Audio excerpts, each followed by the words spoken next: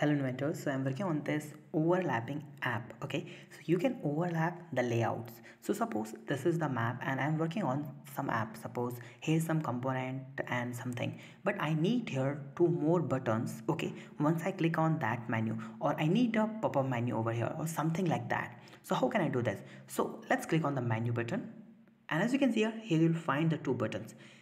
This button comes from the layout okay? So we are using the layout here okay and this map is under one more layout. So we are overlapping the layouts here.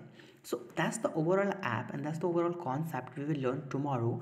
And how how many apps we can create using this concept? How many games? What we think use and what we should do with this extension? Okay tomorrow we will learn everything about this.